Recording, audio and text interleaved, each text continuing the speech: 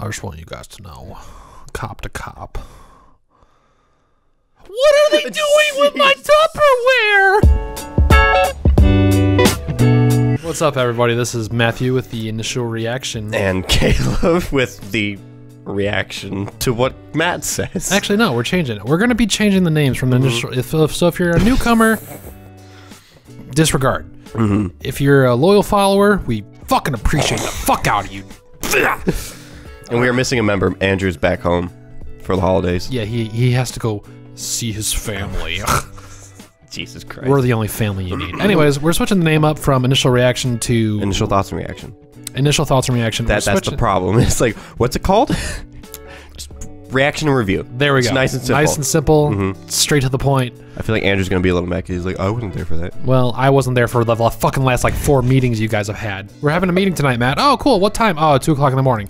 What movie are Bro, we you fucking about? realize Matt? I work at six tomorrow morning.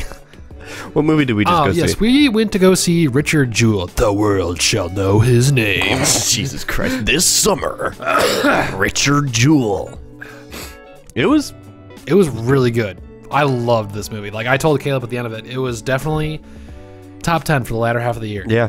I mean, I'd have to look at the movies, but yeah, it's it's it's I would too, Debatable. probably. but like you know, coming away from it like right away, just boom, just it's not fair because it's a true story, so like tugs at your heartstrings a little bit. But like that's what I love about it because it's just like this happened. Yeah. And this guy went through all of this. His family, his I mean his mom it basically was just like him and his mom and this lawyer. And It the was- fact it was just it was there was a lot of wholesome moments between Yeah. the lawyer, the mom, and Richard Jewell. Yeah. Who I think the guy did a fantastic job. I don't know his name, but he was in I Tonya. He's freaking hilarious. Really? Oh, wasn't he a bodyguard? Was he one of the bodyguards? He was like quote unquote the bodyguard. Like, Oh. not not like The one that did it? But it, I don't know. Yes, Mhm. I think so. I don't know. I thought you were about to hold back because of spoilers. I was like, we all knew what happened. Also, spoilers. This is a real event. We're gonna talk about what the hell happened. Are so we, are we talking about the movie entirely in spoilers or? no, but like, don't be afraid about. It. Just like, Oh. yeah, we. It's a true story. If you want to go see it, blah blah blah. Um, are you looking up his name? Yes. Um, uh, since we already talking about specific names, acting all around, Sam Rockwell, Kathy Bates, the guy that played Richard Jewell, Uh, all amazing. Jon acting- Hamm, Olivia Wilde. I don't know if you mentioned those guys. Yeah. Oh, duh. Yeah, Jon Hamm. Jon Hamm was. I hated Jon Hamm's character, but that's exactly what Yeah. they were going for, Mhm. and so I mean, Jon Hamm is just fantastic. I love Jon Hamm. I just Um, want him as Thomas Wayne already. The guy who plays Richard Jewell, his name is Paul Walter Hauser. Yeah. And he deserves the honorable mention because he was he was really good. It, it's just so uncomfortable, just like seeing the way he talks. It's like you're too nice, and like you Yeah. you don't. Is he borderline autistic or something? Like he doesn't understand social um situations I as much. I don't know because Mm-hmm. he kind of was the same way in Itanya. Tonya. He just was kind of like you know he played. A Is that just this character now? Is he I don't know, typecasted? But he just. I love him. He's Mm-hmm. he's a he's a great guy, and like you know, there's definitely a few moments in this movie where like where I kind of like almost started crying, not like bawling, but I just I almost started tearing up because I'm just like, fuck, dude, this guy's Just getting taken advantage of. Yeah, and he's just an incredibly wholesome guy. He only wants to be a cop. He wants to do his job and be a loyal civilian and citizen. Respects the law, Yeah, because sir, ma'am. and you know the lawyer the entire time's about like, stop, stop being nice. Get angry. And like, yeah, it's just like you just want to shake him. It's like, dude, they're fucking you over. Yeah, Just get angry. and it's just it's so shitty of them because like it's like Sam Rockwell's character said, and basically what Richard Jewell said later in the movie. Like, what if this happens again? And you, the world asks the FBI, "What were you doing?" And they said, "Oh, we have our eyes trained on Richard Jewell, the guy who didn't do it." Like. And I wish there was more like consequences to them. Like Yeah. they didn't get uh, like any pun like not punishment, but like nothing happened from what they were doing. I was really hoping that like they would try to sue them for Exactly. something, but it's like I I don't think that they technically could have Right. I mean, like, because it's like he was a suspect and like you can't. I mean, maybe you could sue like the journalist, co- the the They might newspaper, yeah. because like that is like defamation or not defamation, but like it was 88 days of just a pure nightmare. Yeah, hell. Um, if you're a lawyer, let us know what what Yeah. can be done in this situation. Because I, I was thinking about the, the logistics of it. It's like, do they pay Sam Rockwell? Is he doing it pro bono? I mean, it wouldn't make sense because now he's known as like the lawyer that saved Richard Jewell. So I, I would hope that he would do it pro bono because, like, you know, watching his character's relationship between Richard Jewell and right, the the mom. no the the lawyer's name, um, I was like, it's either the, it was like- Bryant. Bryant. It was like William Bryant, I think so. Will Bryant, something like that. Um, Sorry, we're butchering everything. Yeah. Probably. um, but yeah, just like you know, within the first five minutes of the movie, we get introduced to his character, uh, Sam Rockwell's character, and you know, you're just like, oh god, okay, this guy's gonna be kind of tough. Yeah. It, it was. then he's just like, I need some tape, and he's like, oh, I got you. There's some tape and a new box of pens in there. and he's like, "All- all right. don't look at my trash. Yeah, that was kind of funny. It it was nice, just like seeing him yell. I just love yelling in movies. It's just and also just like there was something like broke my heart. He like when uh Sam Rockwell was like, "Why did you call me? Why didn't you call any other lawyer in the phone book? There's lots of lawyers." And he's like, "Cause you're the only one that I know. You're the only one that treated him like a human being the Mhm. five years in that that- whole building. Yeah, and I was just like, damn. So that, I mean, it really kind of just like makes you think that Sam, like Sam Rockwell's character is just a genuine, Yeah. good and amazing guy. Yeah. He may he may have a hard exterior, but he's got a soft, mushy inside. Because like at first he was gonna help Richard with this book deal that he got. Mm-hmm. Just you know, maybe oh maybe some quick cash. Okay. Yeah. cool. I'm kind of struggling, but you know, Which I hope they did end up doing. Because it I feel like in the credits they mentioned a book, yeah, which they needed some money. Richard didn't have a job for like two months, three months, yeah, and if Rockwell was doing that pro bono, he wasn't getting paid. There was that scene with him and Nadia, which their relationship was cute, yeah, where she was like getting all excited because like this is gonna be big for us. Yeah, like, yeah, because they were like struggling. It didn't look fun for them. yeah. She was just like, okay, yeah, because we'll have three of these big juicy cases coming in tomorrow, and you've got so much to do, and I've got so much to do. Oh my god, I freaking Uh. love Sam Rockwell. I wish he was an Iron Man more. What was his name? He reminds me a lot. Of. Justin of, Hammer? He, he looks like a, a skinnier, a skinnier Edward Norton. Can there be a skinnier Edward Norton? Edward mean- Norton's already pretty skinny. Yeah, true. I don't know. He kind of like I look at him. and I look at. Uh, It's because he's tall. Maybe I don't know. Anyways, um, yeah, this movie was. It was just so good. It was really well done. I just I loved. I I loved everything about it. I mean, Mhm. there wasn't really. Uh, I don't think there was anything. Maybe pacing could have been better. I, that's the only really I thing. don't know. I I'm, mean- I'm scraping the barrel to find something bad with it. Yeah, I mean, like in the beginning, like it was tense because like it was Mhm. just like Yeah, the first act was nice. and then like you know they get into like the uh, the bureaucratical stuff with Mhm. like you know don't answer that don't say that don't say anything because they will fuck you over Dude, it makes you hate the FBI. They were going through.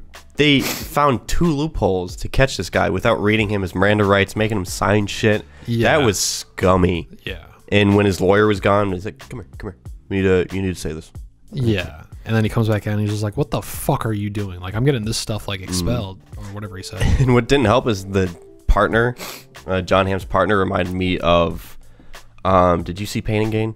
yes Um, the guy that owned the gym, bald headed guy. He's always in comedies as like the asshole. yes And- He reminded- is he in the office Probably he's in Step Brothers. Maybe he's always in like a Will Ferrell or Mark Wahlberg movie. But like he reminded me of that actor, and he's always like the asshole comic relief and david stuff. Koechner I think so. Let me see. Oh, oh no, not him. but he, that's what Oh, he that- reminded me of Was that that was him? I'm thinking Um, of different. I'll bring it up later. for people who are wondering who i'm talking about um, if you've seen the office he plays todd packer um, yeah i don't know i don't know who you're talking about Oh no, the faces are blending. Uh, hot tub time machine. Um. i'm pretty sure he was the guy in there Oh. oh no i know exactly who you're yeah, talking about now They they have Yes. the same haircut. They're bald. Yes. Rob Corddry. yes That's who it reminded me of. God, what, a weird tangent we're on. It, Jon Hammer's partner reminded me of, of Corddry, and it was like, "Yeah, you're just always an asshole. and I don't like you right now." honestly the only kind of part that i had trouble following was when they uh, went after richard jewell's friend because i was just like he wasn't he was in the movie for like two Yeah. seconds at the beginning uh, like shooting Yeah. and it's like okay you brought him in to kind of like establish him as a character hmm but then you just kind of forgot about him for a while, and then you came back to him, and you're like, "Oh, hey, we're, we're we, like we need you." It was like he was just like standing outside the apartment, and it was Yeah. like dark. And I'm like, "Who the fuck is this new guy?" right? Um, it was. Lost train of thought. Like when it was nice bringing him in because it did make you think like, oh, it could have been an accomplice. Because when Sam Rockwell did the whole timing thing, and we're just like, yeah, he's totally innocent. yeah, Like there's no way. And then you don't think there could be an accomplice. So it was nice seeing how the FBI was thinking about it. So it was like, okay, I guess, but yeah, he's still innocent, and he's not a homosexual. I like looking true. at women. that that was very funny. Um, I was trying to think. I mean, overall, the atmosphere of this movie was just it kind of gave off like a really tense Mm-hmm. vibe because I mean, like this was something that happened. These were most likely loosely based around the events that actually had happened because you know movie magic and you, Mhm. know, you got to keep that stuff going. Right. But it was still just like this movie kept you, like it gripped you, Mhm. and it brought you in. And especially at the end when the, the FBI agents came in, threw the paper at him, and they're just like, "I think your client's guilty as hell." It's like, bro, he's not. He's not. Okay, look at him. Dude, the donut. He's eating a single fucking glazed donut. a chocolate glazed donut. And he looks fucking adorable. I would die for that plate. man. I would die for him. do you think? Um, because they showed his heart problems a few times in the movie. Do you think this stress added on Oh, absolutely. to what? Could, yeah, because stress can just affect your heart. And so, Yeah. like, if this never happened, he could still be alive today. I mean, granted, he was not a healthy man. No, I mean, yeah, because I mean, his mom, you know, kind of brought in like the whole uh, fast food, fast food, fast food. Right. and then like you know, He's got the runs. he saw, yeah, he saw how it was affecting his mom, and like that's when it started, and then you know, he was outside walking the dog, and photographers were taking pictures and pictures and pictures, and he's just I like, would not want to be in a situation like that.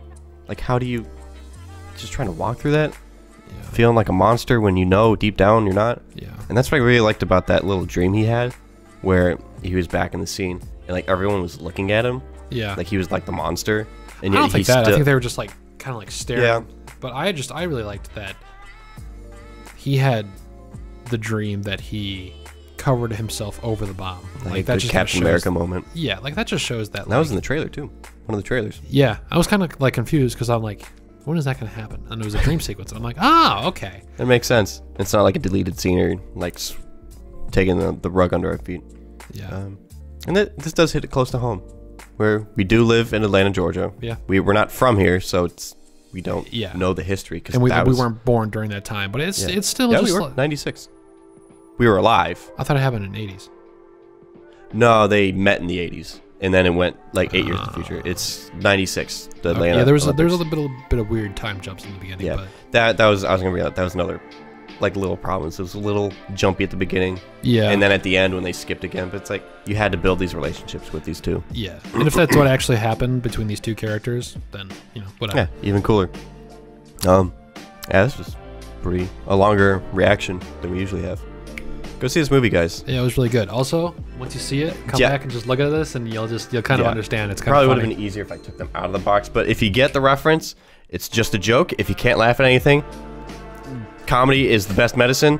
We're not being offensive. My pantyhose. What's your grade, Matt? Um, Off the top of your head. nine out of ten. Yep. I give it A, A minus, around there. I mean, it, it was just it was a really great movie. It's a good, it's a I'm, good feel good movie. I'm really happy we just decided to go see it. Mm -hmm. It's nice. Yeah. Low action. It's just drama, drama and yelling. Yeah, you need you need these uh you need these uh these like, you know, movies that just nothing really happens. It's just Yeah. a lot of story driven Mhm. stuff to And kind the- of bring you back down to reality. Yeah, I think it's a true testament of how good a script is when you can just write the whole thing and have a single insert fight scene Yeah. that takes up 20 minutes of the thing. I mean, you had a bomb go off. dialogue. Like, you know. The, the movie didn't focus around the bomb, and that's what I loved. It focused around Richard Jewell, and that was Mm-hmm. that was really nice because it showed you that this man, all he wants in life is to just be a law enforcement official. Yeah, life just shits on him.